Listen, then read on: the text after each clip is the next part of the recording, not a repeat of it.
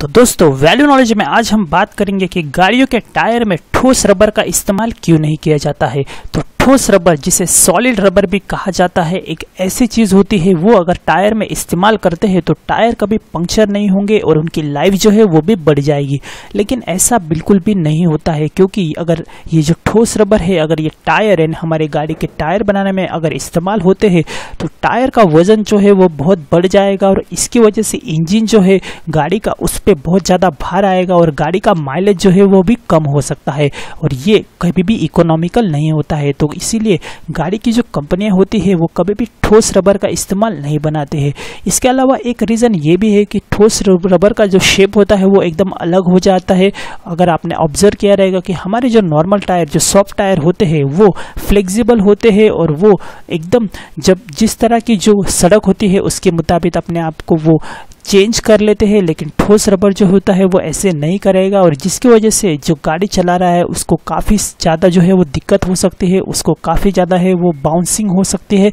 इसकी वजह से उसको पीठ में या फिर शरीर में दर्द हो सकता है। तो यही सारे कारण है जिसकी वजह से जो है वो ठोस रबर जो है वो इस्तेमाल नहीं होता है टायर में, लेकिन कुछ कुछ ऐसी गाड़ियाँ होती है जो एकदम कठिन परिस्थिति में चलाई जाती है, जैसे कि एकदम घने जंगल में चलाई जाती है, वहाँ पे जो है वो